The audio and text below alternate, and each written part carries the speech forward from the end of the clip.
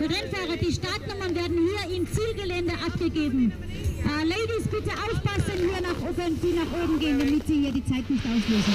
Schatten 181, das ist Kanon und sie kommt hier durch das Ziel durchgeschossen. Super!